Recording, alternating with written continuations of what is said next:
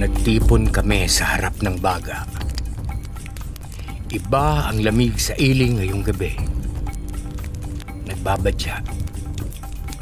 Sumasayaw ang apoy. Tinitigan ko ito at tila nabasa ko dito ang isang katotohanan. Ang ilog ay dumadaloy para sa lahat.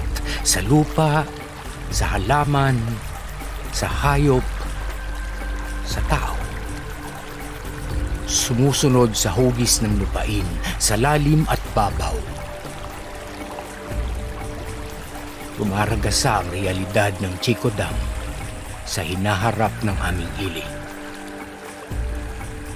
Saan papunta ang tubig?